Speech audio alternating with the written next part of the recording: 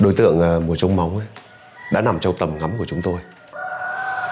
Đây là một đối tượng có cách thức hoạt động độc lập, nhưng có rất nhiều những mối quan hệ phức tạp và kín với những đối tượng cộm cán trên địa bàn. Làm ván nào xong ván ấy.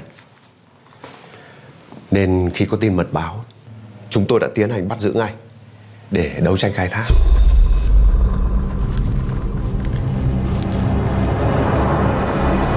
Yêu cầu kiểm tra Kiểm tra.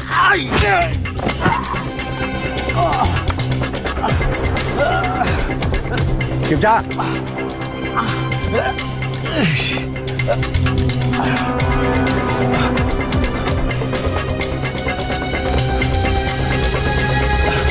Báo cáo Có ma túy. Còng tay. Chúng mày thả tao ra Chúng mày sẽ có rất nhiều tiền. Ra về đồn. Từ từ từ từ từ từ. Nếu ta nói thì sao? Con gái tao thế nào? Đảm bảo Anh sẽ được khoan hồng. Con gái anh sẽ an toàn. Đưa về đồn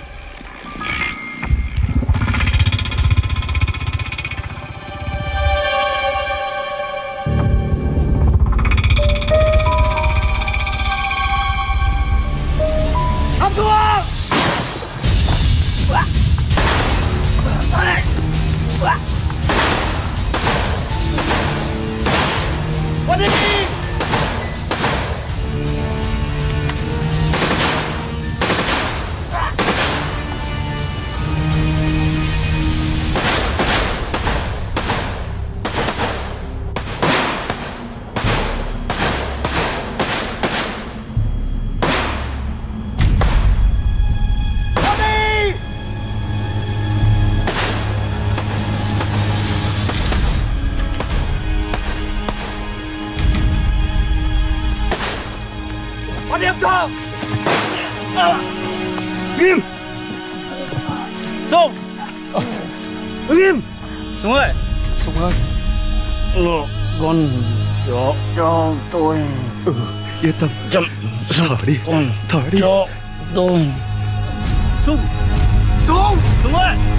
Sùng Sùng ơi. Anh Sùng Sùng Tôi tin những cái hành động của đồng chí Sùng không chỉ để là bảo vệ đối tượng mà cậu ấy còn muốn cứu tính mạng một con người. Sùng biết Móng cũng là cảnh gà trống nuôi con Vợ cậu ấy chết Khi bé Măng chỉ mới hơn một tuổi Có điều tra ra kẻ bắn không? Báo cáo Đối tượng là người nước ngoài Sát thủ của một đường dây ma túy xuyên quốc gia Phía bên bạn vẫn chưa bắt được. Móng khai thế nào? Không biết ma túy của ai. Đi hàng chỉ để kiếm tiền nuôi con thôi. Vậy là anh ta nuốt lời à?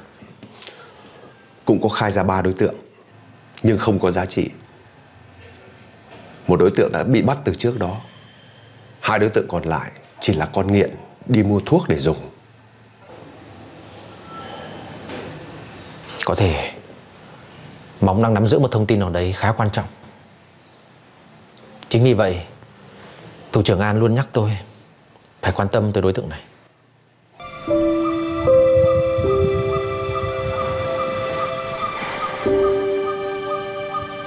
Anh Quang này Tôi đang định đi gặp đối tượng Móng Anh nghĩ sao? Cũng như các đối tượng khác trong đường dây thôi.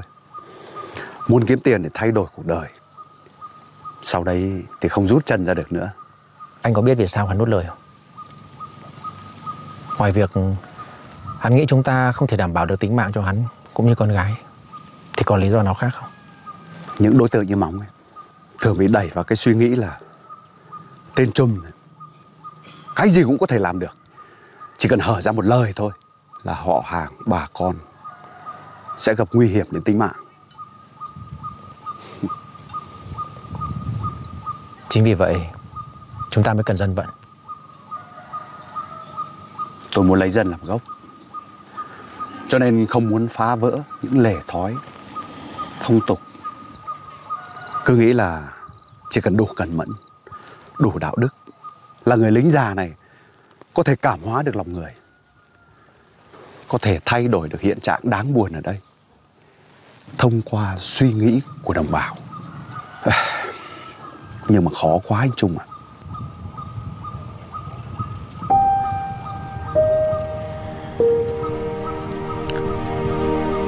Lúc mới lên đây, Tôi cũng đã nghĩ Cần phải quyết liệt trong mọi việc, Nhất là trong việc đấu tranh phòng chống tội phạm ma túy Nhưng đúng là Không phải việc gì muốn quyết liệt Cũng có thể xử lý được